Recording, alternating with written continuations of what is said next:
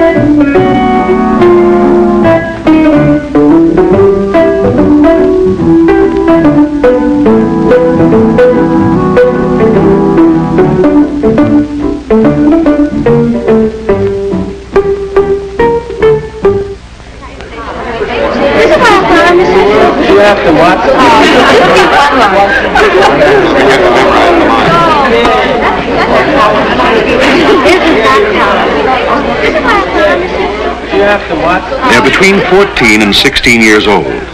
Social life is a dominant interest. Every school class has several groups or cliques.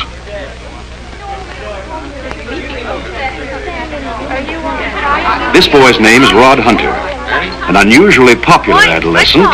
He's a three-letter athlete, he's intelligent, and comes from a family with good income and high social prestige. Rod is the leader of the clique, which dominates the social life of the school. Here's Ben, a boy whose background could be described as lower class. But his exceptional talent, his intelligence, his determination, and his social know-how have all brought him almost total acceptance among the clique. Psychologists call him a climber. Then there's the middle case, Susie Summers. She belongs to the clique and has lots of friends. She doesn't enjoy quite the same popularity as Rod, perhaps because she is close rivals with her elder sister and lacks a sense of security.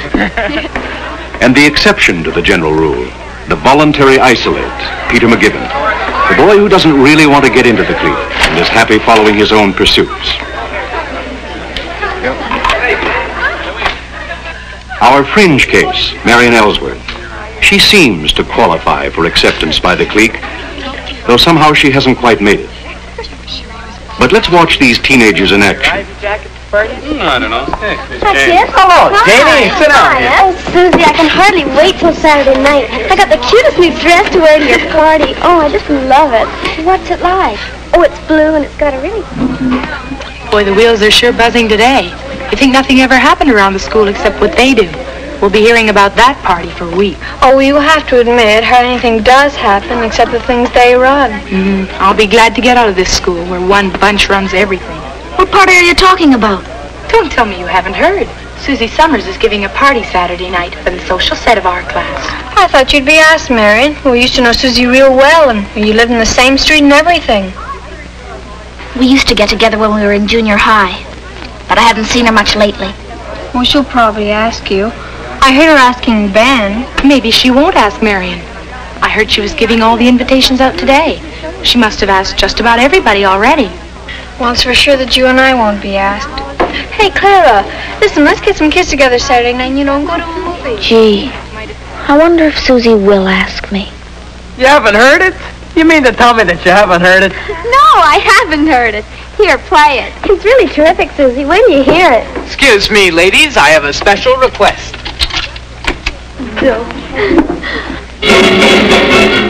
Kids in that gang sure have a lot of fun. If Susie asked me to her party, maybe I could get into more of their doings. I bet she will ask me.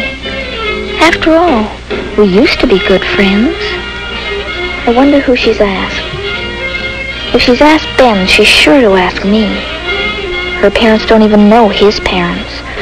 And he lives in that slummy part of town. Rod'll go for sure. He's terrific. I wish I knew how to be friendly, like Susie. I wish I wasn't so shy. I never know what to talk about. Hey, look at the time. I gotta get home. Yike, come on. Are you coming, Marion? I think I'll stay and finish my Coke. Uh, Bye, Marion. Bye.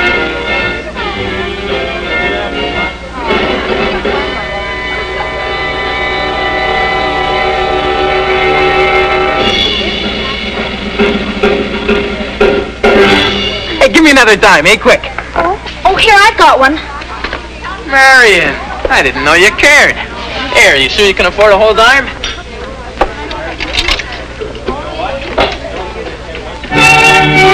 Oh, what kind of dopey music's that?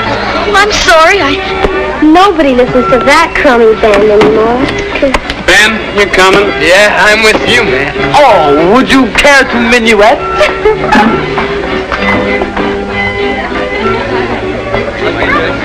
Hi, Marion. Hi, Susie. I guess I goofed. Oh, don't mind them. Hey, Marion, I want to ask you something. Some of the kids are coming over Saturday night. Sue, if you want to ride home, you better hurry up. Dad's waiting for us outside. Oh, gee, wait for me. I'll be right there. Oh, Marion, I'll call you tonight.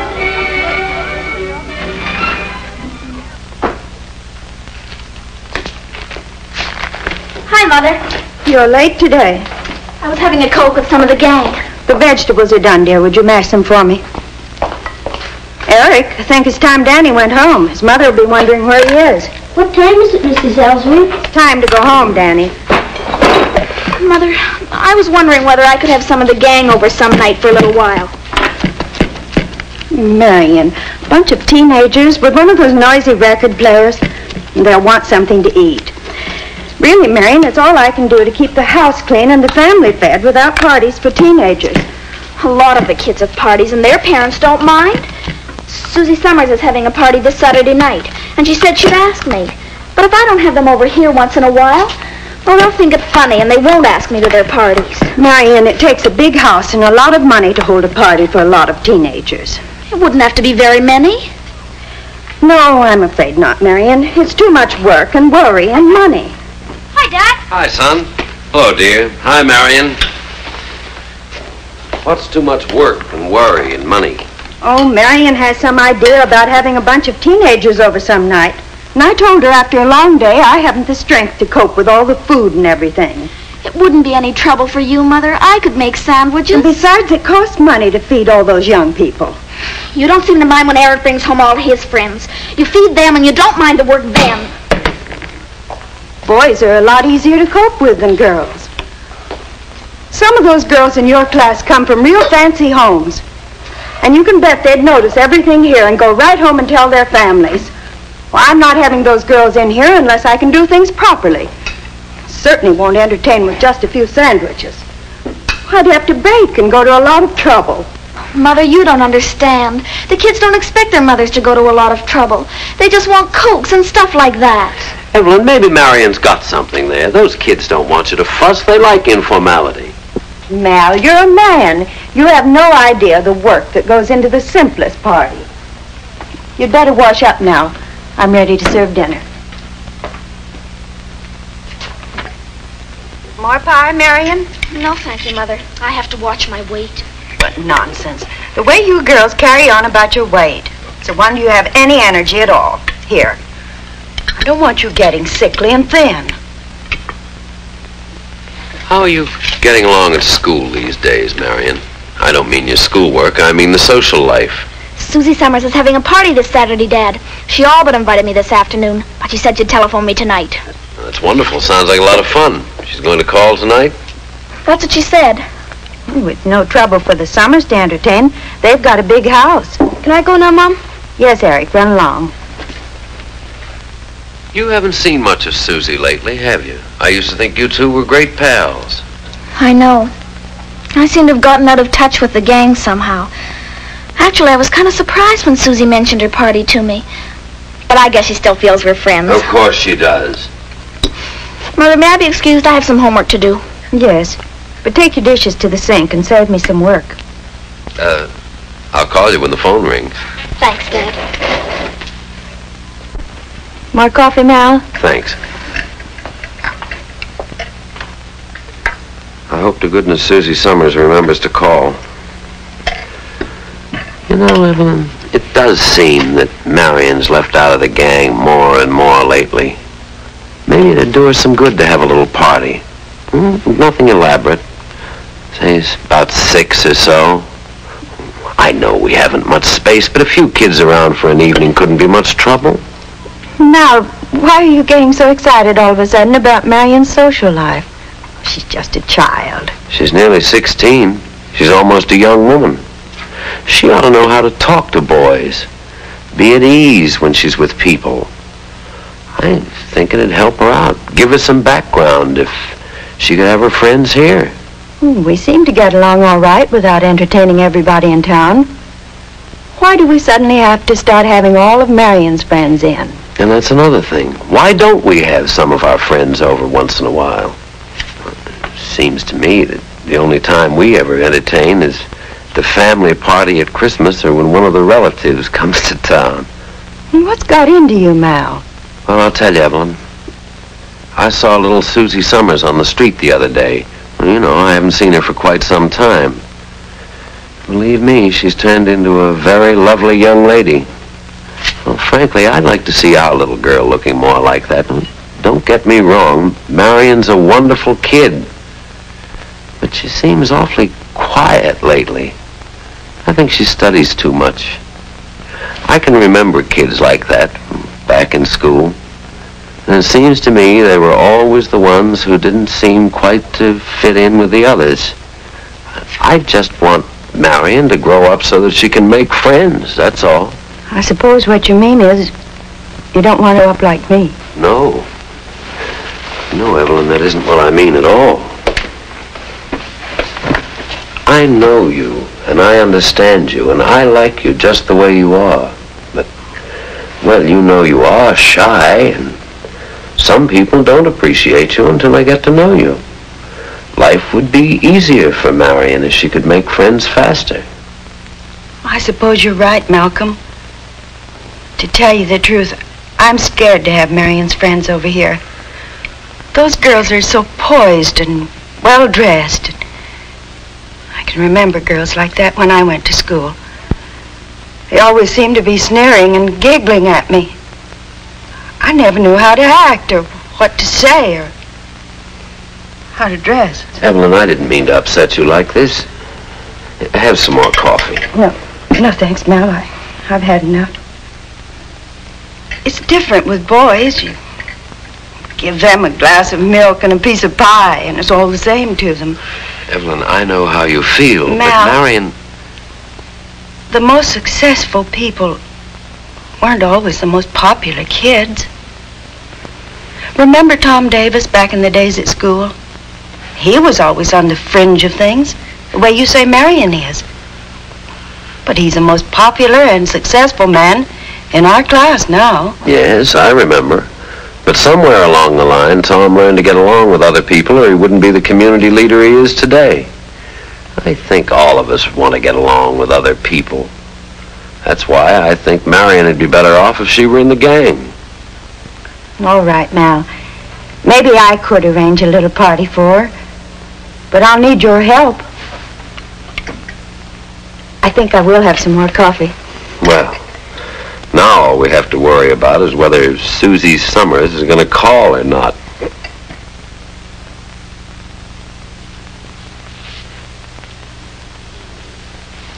Now, where'd that extra man come from? Oh, gee, I almost forgot Marion Ellsworth. I didn't even think of her until I saw her this afternoon. Susie, you're not going to invite her. Why, she doesn't even belong to your gang. Those queer clothes she wears. I felt kind of sorry for her today. If she doesn't smarten up, she's going to grow up to be just like her parents. You notice that Marion's mother and father never seem to get asked to any of the parties given by the grown-ups around here? Well, gee, I think it's mean that we should take it all out on Marion. Well, she can't help it if her parents are kind of unfriendly. She even said her parents won't let her have kids in the house. I still say she'll spoil the party. Well, it's my party, and I'll ask whoever I want. Marion and I used to be good friends in junior high. I feel as if I ought to ask her. After all, she just lives down the street. You better make sure you haven't got too many on the list already.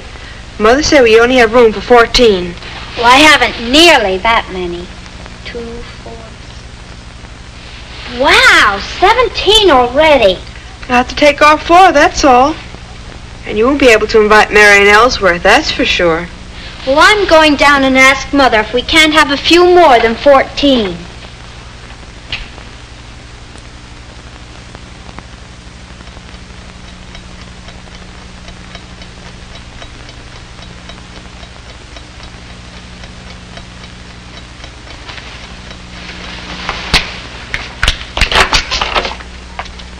Mother? What is it, Marion? Was that the phone? No, dear, I'll call you.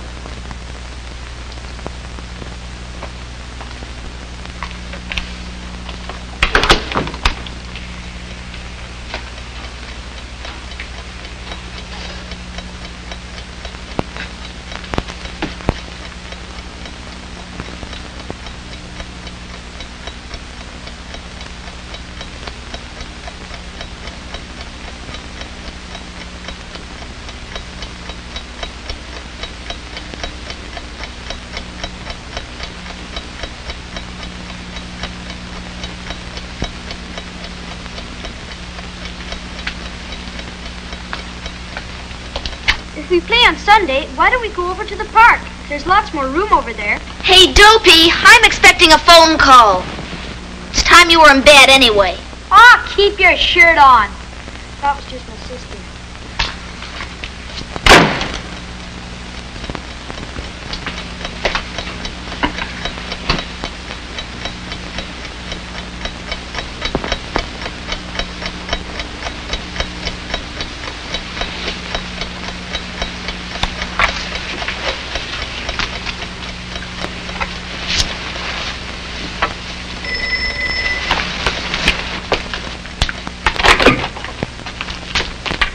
It's for you, Malcolm.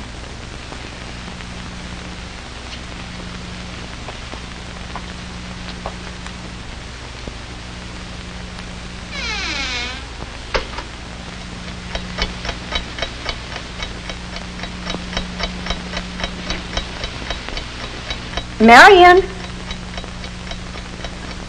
Marion, Yes, Mother? it's time to go to bed. Yes, Mother.